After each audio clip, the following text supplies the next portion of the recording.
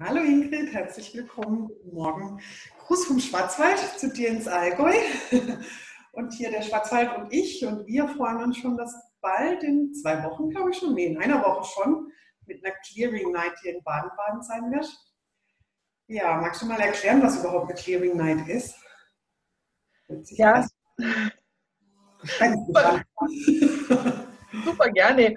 Ähm, erstmal danke, Verena. Freut mich riesig, dass wir uns heute auf Zoom kurz treffen und ähm, ja, das einfach ein bisschen deutlicher und verständlicher für manche Leute dadurch machen können. Eine Clearing Night findet also nicht unbedingt am Abend statt, die kann auch am Nachmittag stattfinden und hat einfach den Hintergrund, dass man sich so zwei Stunden, drei Stunden, je nachdem, ist unterschiedlich trifft mit Leuten. Es ist so wie so ein kleiner, wie so ein Minikurs eigentlich und zu einem Topic-Thema, also ein Thema, das man wählt, um das herum alle Fragen, Situationen, Themen, die auftauchen bei den Teilnehmern oder die ich einfach aus Erfahrung so zum Start von meiner ähm, Erfahrung, von dem, was ich selber erlebt habe, von dem, was ich schon mit Leuten damit zu tun hatte, ähm, vorstellt, darüber spricht, andere Sichtweisen einlädt, mit Fragen auch zu anderen Möglichkeiten kommt und die Grundidee ist, dass man einfach ähm, so ein Thema mal von anderen Seiten anschaut, andere Erfahrungen bekommt, aber auch Werkzeuge, um mit mehr Leichtigkeit damit umgehen zu können, vor allem mit Themen, die klemmen. Und dann zusätzlich noch die Möglichkeit hat, auch Sachen aufzulösen. Und es kann manchmal passiert bei so Clearing Nights mehr, als man sich vorher vorgestellt hat und dachte. Ich habe, also meine Tochter macht manchmal mit und ist dann immer völlig von den Socken, weil sie sagt, bei diesen zwei Stunden Sachen, wo sie dachte, naja, da setze ich mich mal mit rein, sind oft die größten Veränderungen danach passiert. Kann ich verstehen. Ja, wir haben ja ein interessantes Thema uns auch ausgesucht. Alles rund um Familie. Magst du da noch ein bisschen was erzählen, für wen das dann, meine Familie hat jeder, für wen wäre so eine Clearing Night denn geeignet? Was denkst du denn? Also ich denke, spannend ist ja, Familie hat jeder. Also in irgendeiner Familie wurde jeder geboren. Und manche haben dann sich eine eigene Familie noch gesucht, manche sogar zwei oder drei. Die Patchwork-Familien nehmen ja auch zu. Und ähm, es ist im Grunde für jeden geeignet, der mit Familie irgendwas zu tun hat. Ähm, und nicht nur für die, wo es klemmt. Manchmal ist es auch für die, wo alles super läuft, äh, spannend, weil sie sicher in ihrer Umgebung Freundinnen, Freunde, Bekannte, Mitarbeiter, Kollegen haben, wo es eben nicht immer nur leicht läuft. Also interessant ist es sicher für jeden, der mit Familie irgendwas zu tun hat. Und ähm, es geht ja nicht darum, dass es falsch oder richtig ist, sondern wie viel Leichtigkeit kann ich damit haben. Und auch wenn ich schon Leichtigkeit habe, es könnte ja noch mehr Leichtigkeit geben. Mhm. Und ich hatte mal den Fall, dass ich mir dachte, an einer bestimmten Stelle mit Familie habe ich überhaupt kein Problem. Das war so ein Beschluss in mir postwendend innerhalb einer Woche hatte ich dann wirklich das Gegenteil so auf dem Tisch, dass ich mir dachte, oh wow, das wollte ich vorher noch gar nicht anschauen. Und war dann ganz froh, dass es sich gezeigt hat. Also ich will jetzt noch gar nicht so tief in das Thema einsteigen, aber ähm, jetzt so, wenn man so, also ich merke so gerade in Gesprächen ganz viel mit meinen Klienten oder auch mit Freunden so, dass dieses Thema Familie im Moment unglaublich hochploppt bei vielen nicht in diesem Sinne von Leichtigkeit, wo du sagst, sondern so mit so einer ganz großen Schwere. Was ist denn das, dass man manchmal so in diesen Familiendramen und Traumas drin hängt, wo dann in, in unterschiedlichen Situationen, die jetzt gar nichts mit der Familie zu tun haben, wieder aufploppen? Also zum einen, ähm, da gibt es, glaube ich, jetzt zigtausend Möglichkeiten, die dazu führen, die das beinhalten, die das begleiten. Ein paar Klassiker wäre zum Beispiel, ähm, wenn du immer in die Stadt auf, von einer bestimmten Straße reinfährst und plötzlich hast du eine Umleitung, weil da gebaut wird, äh, kommst du auf die gleiche, in die gleiche Stra Stadt plötzlich von der anderen Seite rein und denkst dir, wow, das habe ich noch gar nie gesehen.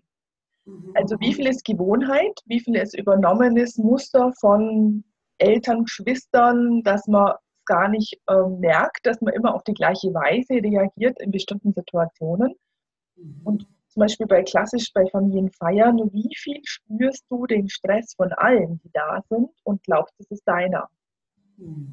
Also ganz, ganz häufig sitzt man dann in diesem Familienfeld drin und glauben, das haben nur wir. Wir sehen zwar, dass vielleicht der Bruder, die Schwester auch nicht arg viel mehr glücklich mit der Situation sind, aber äh, der Mensch ist oft so konzipiert, dass er glaubt, was er wahrnimmt, muss sein sein.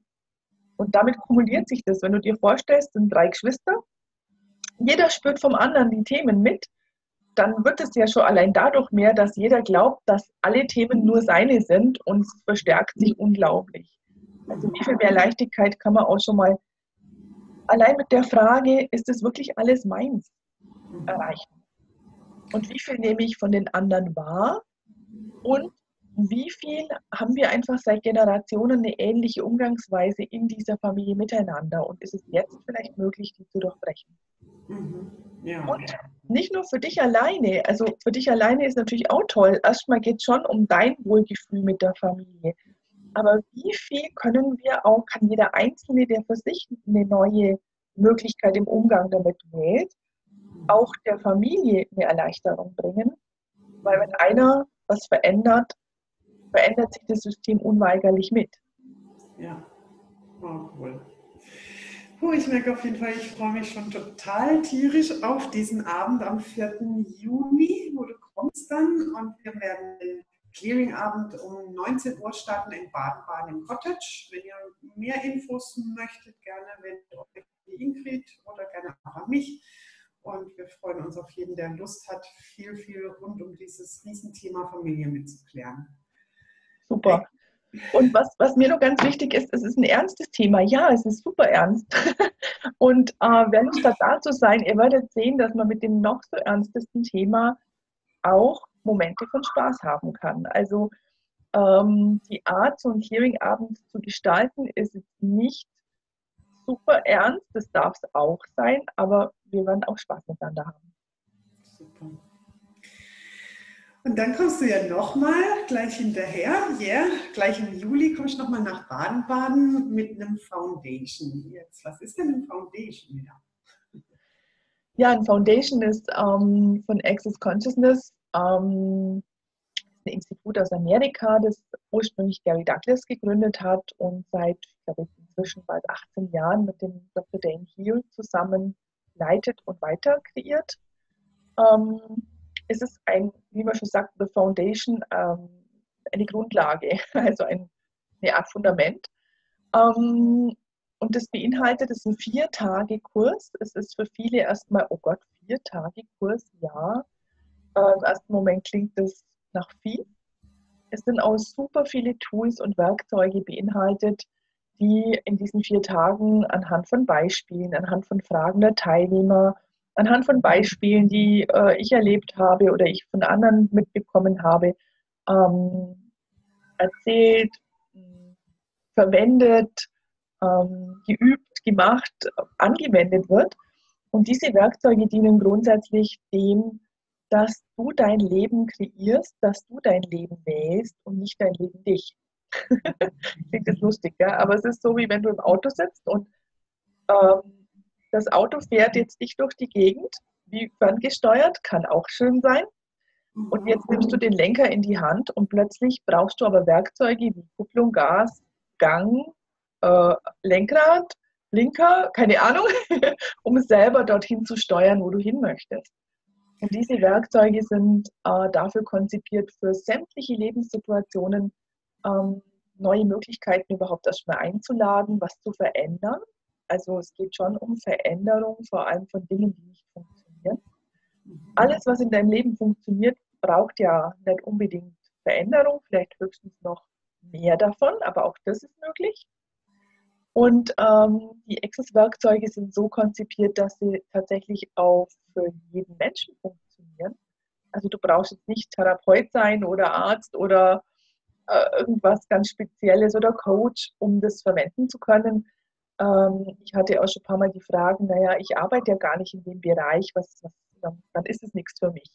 Mhm. Und ich mache aber die Erfahrung, dass gerade Leute, die auch einfach Hausfrau sind oder einen ganz anderen Beruf haben, vielleicht Buchhalter oder sonst was, ähm, in ihrem Alltag, in ihrem privaten Leben, aber auch im Beruf ganz, ganz andere Erfahrungen plötzlich machen und auch Veränderungen, die sie nie für Möglichkeiten hätten, vielleicht plötzlich sogar ganz anderen Beruf auch mit in Betracht zu ziehen, überhaupt erstmal in Frage kam.